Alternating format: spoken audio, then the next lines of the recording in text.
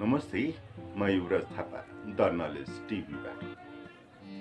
कृपया यो कार्यक्रममा नयाँ हुनुहुन्छ भने यो कार्यक्रमलाई तपाईँहरूले सब्सक्राइब गर्नुहुन्छ। पुरानोहरूले सब्सक्राइब गर्नुभएको छैन भने कृपया सब्सक्राइब गरी हौसला बढाइदिनु हुन अनुरोध गर्दछु।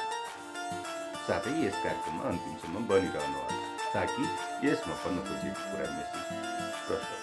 अहिले म अर्को विषय प्रस्तुत गर्दैछु यो राजनीतिक विषय राजनीतिक आर्थिक विषयमा विश्वको राजनीतिक आर्थिक विश्लेषण पेस गर्नेछु अहिले विश्वमा एउटा चेन्जिङ पोइन्ट सोक पोइन्टको एउटा ठुलो भयानक लडाइँ चलिरहेको छ सामान्य सैनिक अपरेसनभन्दा सुरु गरिएको सैनिक कारवाही रसियन सैनिक कारवाही अहिले बिसौँ एक्काइसौँ दिनसम्म लम्बिएको छ यो लम्बिएको लडाइँ अब अन्तिम अवस्थामा गएको रसियाले कुनै पनि अवस्थामा हार मल्ने छैन कुनै पनि परिस्थितिमा हार मल्ने छैन उसले जित हासिल गर्ने गर्नुपर्ने छ अन्यथा बरु ध्वस्त हुनेछ आफै स्वयं तयार हुनेछ तर यसमा स्वीकार गर्नु यो जीवन मरण लडाइँ लडिरहेको छ हुन त आफ्नो राज्यको लागि युक्रेनियनहरू जीवन मरणको लडाइँ गर्न बनेका छन् तर त्यसमा ठुलो लडाइँ युक्रेन रसियाको नभएर अन्य रसिया भइरहेको त्योसँगै रसियामाथि ठुलो आर्थिक प्रतिबन्धको घोषणा गरिएको छ र थुप्रै छ हजारभन्दा बढी आर्थिक नाकाबन्दीहरू कम्पनी र राज्य स्तरबाट थुप्रा प्रतिबन्धहरू लगाइएको छ यस चिनलाई पनि भनिएको छ कि रसियन मामिलामा नपस रसियनलाई हेल्प तर अहिले मैले यसभन्दा अगाडि भनिसकेँ कि यो भिडियोमा मैले के खोजेर हेर्न सक्नुहुन्छ कि नन व्हाइट वर्ल्डहरू रसियालाई सपोर्ट गर्दछ अधिकांश अत्यन्त बर्बर अवस्थामा चाहिँ अमेरिकी जस्तो जापान त्यहाँ चाहिँ अमेरिकी सेना नै छ जापान दोस्रो विश्वयुद्ध हारेर अमेरिकी शरणमा छ असाध्यै शरणमा भएका देशहरू बाहेक अहिले अमेरिकाको समर्थन गर्ने पुरै समर्थन गर्ने भलै भोटमा चाहिँ हालेका हुन् युद्धको निन्दा गर्दै बाँकी पुरै रूपमा जनताले सपोर्ट गर्छैनन् गर्दैनन् र पुरै स्याङसङमा विश्वले अमेरिकाको साथ दिने छैन नेटो कन्ट्रीले पनि साथ दिएका छैनन्। किनभने उनीहरूले तेल ग्यास रसियाको खरिद गर्नै पर्छ गरिरहेका छन्। राष्ट्रपति जो बाइडेन अमेरिकी राष्ट्रपति जो बाइडेनमाथि पनि डोनाल्ड ट्रम्पबाट व्यापक हमला बोलिरहेको छ। कि त्यो युक्रेनको समस्याले अमेरिकी जनताले किन दुःख पायो भनेर। त्यस्तै व्हाइट सुप्रिमेसी कायम गर्नको लागि व्हाइट सुप्रिमेसी कायम राख्नको लागि अहिले नेटोले जुन प्रयास गरिरहेको छ त्यसमा हार मान्दै गएको छ। केही छिनमै त्यो आर्थिक नाकाबन्दी अमेरिकाको लागि विपद बनेर अमेरिका र नेटो कन्ट्रीहरूको लागि विपद बनेर आउँदैछ। किनकि भारतले पनि रसियासँग तेल खरिद गर्ने सम्झौता लगभग तय गर्दैछ। चिनले पनि रसियासँग तेल आदि खरिद गर्ने त्यहाँको गहुँ आदि खरिद गर्ने तय गर्दैछ त्यहाँ जति पनि गहुँ फल्नेछ विश्वको सबैभन्दा ठुलो उत्पा गहुँ उत्पादक देश भनेको रसिया हो। रसियाबाट गहुँ उत्पादन लिने र अरू उत्पादनहरू पनि लिने घोषणा चिनले गरिसकेको छ। त्यसबाहेक अब चिनलाई आर्थिक नागबन्दी अमेरिकाले लगायो भने के हुनेछ त? के हुनेछ भने जुन बेसिक इन्ग्रेडियन्ट हो हरेक औषधिको त्यो चिनबाट नै विश्वले लिने गर्दछ। नाइन्टी पर्सेन्ट बेसिक इन्ग्रेडियन्ट जुन चाहिँ सिटामोल आदि औषधिको लागि प्रयोग गरिन्छ त्यो चाहिँ बेसिक इन्ग्रेडियन्ट भनेको फर्माटिक्युट फर्माक्युटि फर्माक्युटिकल इन्ग्रेडियन्ट भनेको चाइनाबाट नै विश्वमा वितरण गर्ने गरिन्छ। यदि त्यो वितरण गर्ने भने अरू औषधि के? सिटामल समेत अमेरिकामा पाउने छैन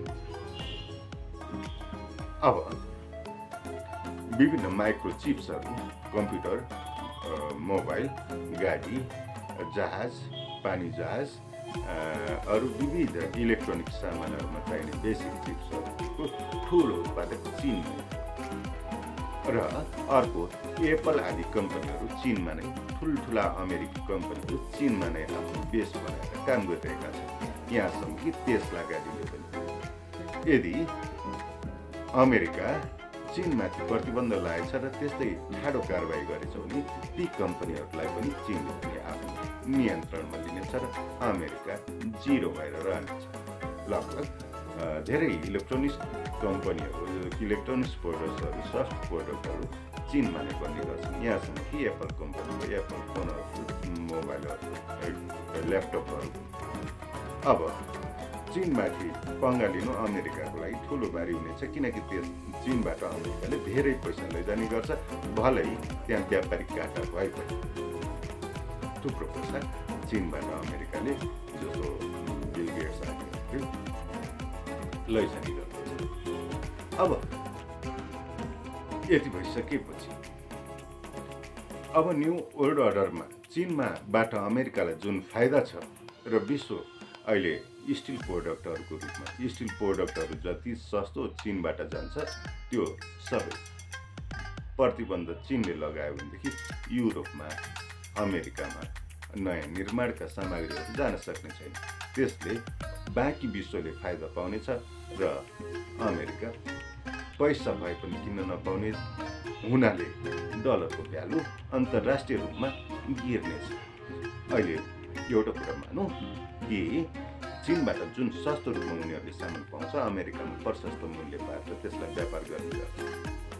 र त्यो अब एक्कासी डलरको भाउ डलर सबै चिज महँगो पर्न जाने हुनाले अन्य देशहरूबाट अमेरिकाले लैजानु पर्दाखेरिमा धेरै महँगो पर्नेछ।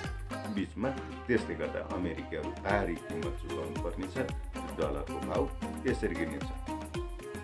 यसमा कुनै विवाद छैन। र चिन एउटा तेलको ठुलो खरिदार देश हो। अमेरिका सानो खरिदार देश हो विश्वबाट किनकि उसले आफ्नै घरेलु तेल प्रशस्त प्रयोग गर्छ। त्यसले गर्दाखेरिमा तेल वितरक देशहरू तेल विक्रेता देशहरू चिनलाई निनेहरू पार्ने छैन त्यसले गर्दा उनीहरूले युवान स्वीकार तेल बिक्रीमा युवान स्वीकार भयो भने अमेरिकी डलर धराशायी हुनेछ। र अन्तर्राष्ट्रिय मुद्राको रूपमा अमेरिकी डलर पच्याउने छैन। चिनले यस्तो पनि गर्न सक्नेछ आफ्नो प्रोडक्टहरू युवानमा बेच्ने अथवा उनीहरूको सम्बन्धित पैसामा बेच्ने र युवान कन्भर्ट गर्ने। यदि चिनको साठी चिनले साठी प्रतिशत विश्व व्यापारको साठी प्रतिशत हिस्सा यत्रो साठी प्रतिशत हिस्सा ओगट्ने चिनलाई अमेरिकाले पङ्गा लिँदाखेरिमा अमेरिकी डलर यसरी धराधार हुनेछ र अहिले अमेरिका सुपर पावरको रूपमा आइएमएफमा डलरका हिसाबले विश्व ब्याङ्कमा डलरको हिसाबले अन्तर्राष्ट्रिय समाज समुदायमा डलरको हिसाबले उसले जुन दादागिरी गर्न पाएको छ भले त्यसको एक सय तिस खरब तिन सय खरब डलरभन्दा बढी ऋण हुँदा हुँदै पनि दुई सौ बिस खर्बको जिडिपीका बावजुद एक सौ पैँतिस प्रतिशत जुन जिडिपीको एक सौ पैँतिस प्रतिशत उसको ऋण छ त्यो तिर्न सक्ने छैन। र त्यहाँ लगानी गरेका जुन देशहरू छन् ती यसरी धराशायी हुनेछन् त्यो सोचाइ सोच्न र सम्झनभन्दा परको विषय हुनेछ। त्यसकारण अमेरिकालाई उठ्न फेरि अहिले रसिया उठ्न तिस वर्ष लागे जस्तै अमेरिका उठ्न फेरि अर्को तिस वर्ष लाग्नेछ।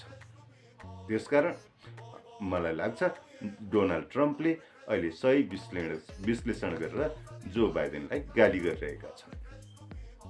उनी राम्रा विश्लेषक हुन् किनकि उनी राम्रा विश्लेषक नभएको भएदेखि अमेरिकी जनताले पनि उनलाई राष्ट्रपति बनाउने थिएन।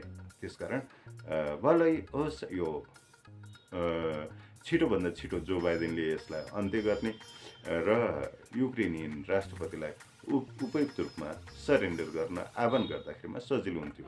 उनको छोरा हन्टर बाइडेनसँगको जेलेन्स्कीको जुन कोलोमस्की को कम्पनी तेल कम्पनीसँग जाहिर गर्दाखेरिको सम्बन्ध थियो त्यसले अहिले जेलेन्स्कीलाई अमेरिकी जुन विश्वास थियो त्यसले नै अहिले यो सङ्कट पैदा भएको हो। हवस् त धन्यवाद। फेरि अरू विषय नयाँ लिएर उपस्थित हुनेछु। कृपया यो कार्यक्रमलाई म फेरि अनुरोध गरेँ। सब्सक्राइब गर्नुहोला सेयर गरेर धेरैभन्दा धेरैलाई पुर्याउन पनि सहयोग गर्नुहुनेछ। साथै कसैले यो च्यानललाई सहयोग गर्न चाहे र यसलाई अरू एडभान्स गराउनु पर्छ भन्ने लाग्छ भने तपाईँहरूले सम्पर्क गर्न सक्नुहुन्छ।